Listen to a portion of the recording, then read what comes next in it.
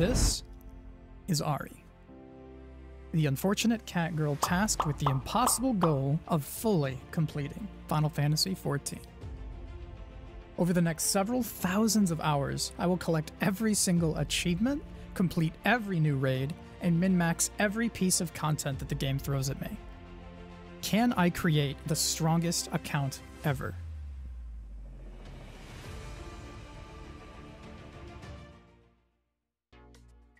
So, as you could probably guess, I am going to be very busy. But first and foremost, let's break down the types of achievements within the game. Grinding achievements is doing the same activity over and over again. Skill based or logistic based achievements will test your knowledge as well as your mechanics, while also requiring you to find other people who also have to be at the same level of play. And finally, time gated achievements shows just how sadistic some of these developers can be. Did you know that there's achievements in this game that are time gated by over seven years? Is it one of the hardest raids in the game? Is it housing? Is it soloing a deep dungeon? No. They're leave quests, an outdated system added in ARR. The Leave Quest achievements are just one of many sadistic achievements that Square has added into Final Fantasy XIV. And it's important that we set a foundation to make sure that we're always working towards them while we're doing our more short term goals. So, first, I want to go ahead and lay out which big accomplishments we've already managed to do, as well as pinpoint the ones that I will permanently be working on and steadily be updating you on them. First, we'll talk about raiding. Both Ultimates of Endwalker I was able to complete on patch, as well as all three raid tiers being completed week 1. We'll need to make sure that in the future we continue that trend. Next is probably the most unconventional thing you may have heard of when it comes to achievements. Completing 2000 mentor roulettes will award you with both an achievement as well as the Astro mount. It's fairly rare, and I already have it completed, but we have a unique goal with this account where I'm not doing just 2000 mentor roulettes, but 2000 mentor roulettes on every single North American data center. Currently, we've already done our 2k on Aether, and we're about 1.2k into Crystal. This will be a long term goal that we continue to work on.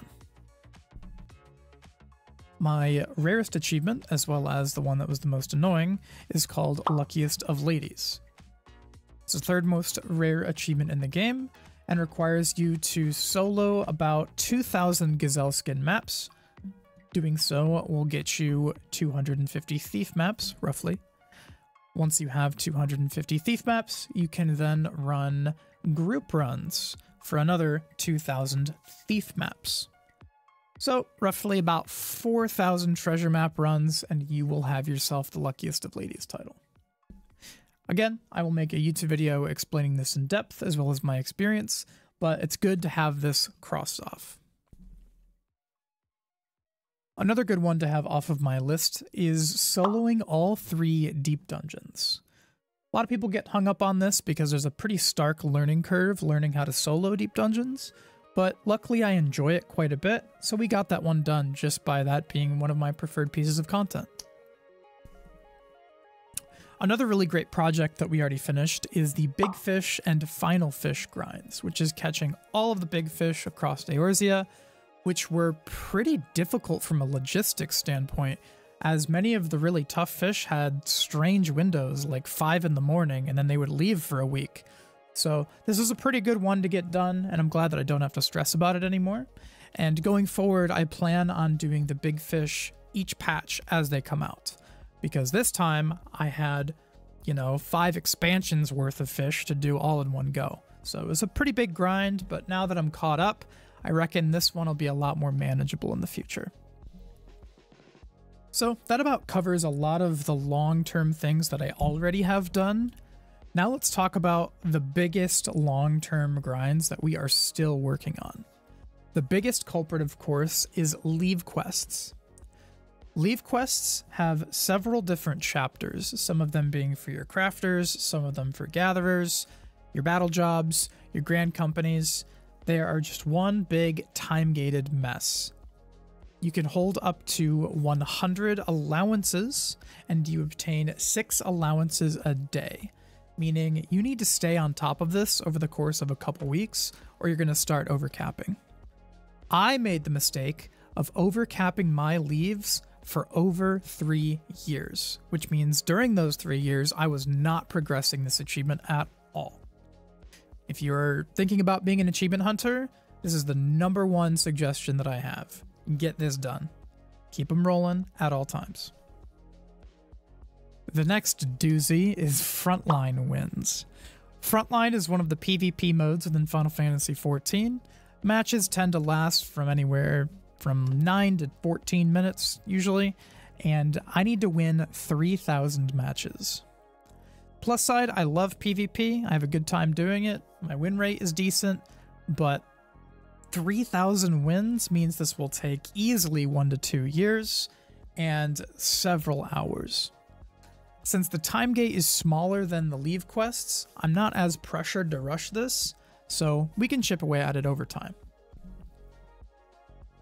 Right behind Frontline wins is Crystalline Conflict wins, which is a whopping 5,000. I also have to make sure I role swap, as I need 1,000 wins on healer, 1,000 on melee, 1,000 on phys, 1,000 on caster, and 1,000 on tank. Like I said, I do enjoy PvP, and these matches also go a lot quicker, so this will probably be a little bit easier than the frontline. And it also pops 24 hours a day in the casual queue, whereas frontline is a little more logistics based and stops queuing around 4 in the morning. Those three are the primary long-term projects that we're going to have to keep chipping away at. But there's also a few midterm projects that I've got on my list. And uh, that would be Diadem, which is about three to 400 hours of grind waiting for me. We have all of the Eureka as well as Bozja weapons, in addition to the 10 clears of DRS and Baldesion Arsenal. Those shouldn't take too long compared to the mega grinds that I've talked about, but they'll be nice little arcs or projects that we can work on for a few weeks or a month at a time. With all the foundational aspects covered, let's delve into the more personalized and essential details for the journey. This roadmap will be our guide. Yellow represents the grinds, green the skill, and orange are the time gates. Here, you'll be able to see my progress as I'm making it, and have an idea of where I'm going to be headed next in terms of which achievements I'll be tackling. Currently, my main focus has been in Eureka. Hello, hello. We are currently in the first zone of Eureka. And it's actually the Gale's weather right now, which is what we need to get a Pazuzu kill. But that's not what we're doing. uh, over here, I will show you guys the process of us creating our weapons. We have to talk to this guy, and he is going to upgrade each and every single weapon from its first step. Um, we've already started a White Mage Relic. Oh, that is a Pazuzu spawn. Can I make it in time? Hold on. We have to immediately shout for an invite. And we are just going to pretend that we helped prep that. What a, what, what a coincidence. I did not expect this to pop. I mean, I saw the weather, but uh, I guess we will get back to our weapon making in just a moment. Okay, got him done. We can finally go back to making our weapon. Got an altar, remember that's where. I guess I need a card from here. Oh. So the one NM that gave me the special glam is not up yet, so we have a little bit of time to burn. I figured we'd do one of the ones that was in the area. It's still pretty high level, so we'll get a good amount of currency from it. And it's in a bit safer of an area too, so I can AFK a bit more and chill until my Scorpion Harness Fate spawns. Alright, cool. So this one did end up spawning about three minutes before the um, NM that I wanted to do for that glam. So we're gonna quickly blow this up, and then I'm gonna make my way over and see if Serket will finally give me the chess piece. All right, moment of truth has come. I've already done this one about four times. No, three times. So this would be attempt number four. I've never recorded before while fighting this, so maybe that'll give some kind of placebo look. And if not, we will be seeing this scorpion many, many times because I refuse to stop doing this until I get my chest piece. So here we go. Kill number four. What do we get? Gimme, gimme, gimme.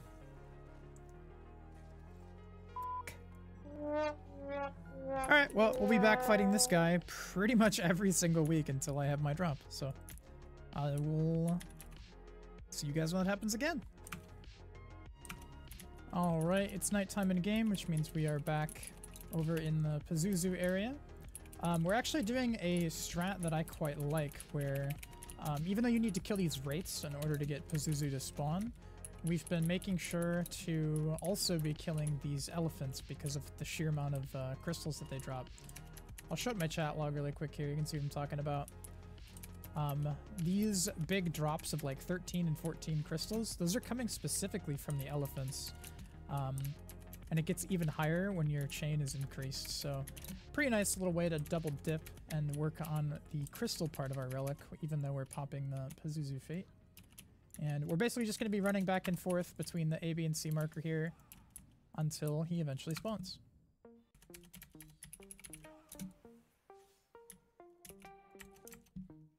Mm-hmm. All right, so we've been grinding for about five or six minutes, and he actually spawned pretty quick. So we already have our Pazuzu Fate.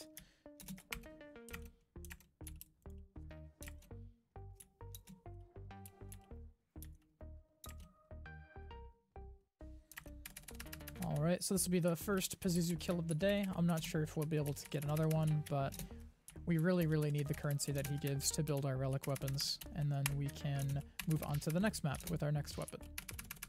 I think he gives three feathers. Let's see, what has he got from it? Maybe a triple triad card? No card, but we got the three feathers. Um, we'll need a lot more of these, and uh, we can go on and build our next weapon. Okay, so we're back in the Anemos crafting area. I've already um, spent 1,300 Anemos crystals off recording to get my White Mage weapon to the final stage of this map. All we've got to do now is turn in some of those feathers that we farmed, and then we are good to move on to Pagos. So we need 1,300 of these Protean crystals from this map in order to get to this stage, but once we're all done with that, we just give him our feathers, quick cutscene, and we get our first achievement for White Mage. So we'll have to make sure that we move over to um, Pagos now. And over in Pagos, we're still going to be at the first step, so we'll have to do all the crystals, but we should have enough for everything. Currently on the Pagos boss, much like Pazuzu as well as Penny, which we took care of earlier, this one is going to give us two trophy items that we can use to upgrade our relic weapon. We'll have to kill him a whole bunch over the course of our journey, and sadly he doesn't have any like mega rare item that's worth a ton, but he's just something that we're going to consistently have to deal with over and over again. So, good one to do for the day. There's our two Louhi's Ice. Very nice. Another big Enna Money Fate. 20 mil drop. Maybe? Not today. So Pagos is a bit frustrating because there's a couple different things we're going to have to keep track of. Um, the first being the Pagos crystals, which you just get from completing NMs as normal. Um, the Louhi's Ice can be obtained from fighting the map's boss. You'll get two per clear, which, you know, sounds bad because you have to do so many of them. But the real problem of this map is the frosted protean crystals. Um, that requires us to fill up our kettle, which is in the top right of my screen, circling it with my mouse. We have to fill up that kettle a total of 31 times per weapon. And um, generally, from my um, experience on this zone, is the amount of frosted crystals that I need is drastically outpacing um, the other currencies. So like my Louhi's ices, they're chilling. My my normal crystals, they're chilling. These frosted crystals are really bleeding my pockets. So at some point we'll have to do a pretty dedicated farm and uh, get those all done. So as you can see, first step here takes out 500 of our crystals. Feels pretty rough. And uh, 10 more of the frosted. We've already turned in 5 of the frosted, so that puts us at 15. And then this final upgrade is the one that stings. It's going to take 16 frosted crystals here and our Louhi's Ice. So as you can see, only 500 crystals from the normal currency, but that's nothing. That's that's really not too bad. It's those frosted ones that are the problem. So if we look in my inventory, I've now got um, just shy of a thousand Pagos crystals, which is two weapons worth, and that completely cleaned out my frosted crystals. Louhi's Ice, I still have two weapons worth, two weapons worth here, and zero weapons worth frosted. So that's kind of the predicament we'll be worrying about, but another weapon complete. So that's it for this week. Next time we'll be working more on Eureka as well as some of my subsidiary goals. Creating the most powerful account has been something that I've thought about for many years. But with how you guys have been supporting me and how my stream has evolved over the last couple of years, I finally found that motivation to get this series moving and take you guys along with me for the ride. I want to thank each and every one of you guys for watching the video. I really do appreciate it. We also stream full-time over at twitch.tv slash ahrieffect, and we'll be completing some of the achievement stuff on stream. So if you'd like to take a look over there, um, links will be in the description, and I hope to see you on the next one. Have a good day, and bye-bye for now.